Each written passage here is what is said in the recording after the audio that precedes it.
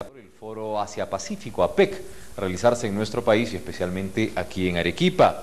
El jefe del comando policial presentó los modernos equipos con los que se brindará seguridad a diplomáticos y líderes mundiales.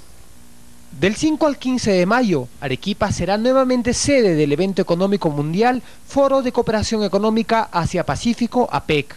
Sin embargo, para recibir a los más de 2.000 funcionarios de 21 países del mundo, la Policía Nacional organizó un plan de operaciones de seguridad, que además contará con agentes que lleguen de la capital de la República y otras ciudades, y seguridad privada de los mandatarios, diplomáticos y empresarios.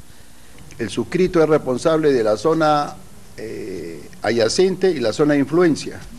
La zona de acción está a cargo del general Tuxe Llovia, que debe estar arribando en el transcurso de esta semana, y nosotros vamos a poner todas las fuerzas necesarias para poder llevar a cabo esta nueva misión.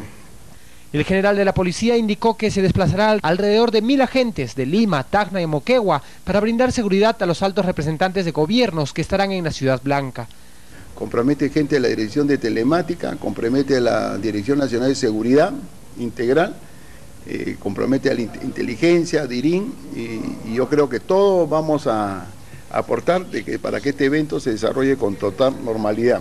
Nosotros pondremos ahí de repente un puesto comando en coordinación con, el Ministerio de Relaciones Exteriores, en, coordinación con el gobierno regional y la policía, ¿no? en coordinación con el Ministerio Público, los fiscales de prevención del delito. ¿no?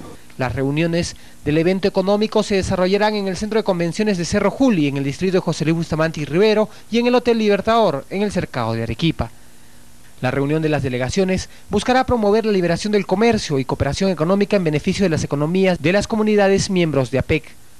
A Arequipa ya llegó, por ejemplo, la primera unidad móvil de alta tecnología, una moderna camioneta adaptada para monitorear a través de un sistema de alta comunicación todos los incidentes previos y durante las citas de los presentes en APEC. Esta unidad traída desde Lima cuenta con dos drones, aparatos de comunicación radial satelital, además de un lector biométrico para identificar a las personas bajo requisitorias o control de identidad. La comunicación es fundamental. ¿En qué consiste, Capitán Peña?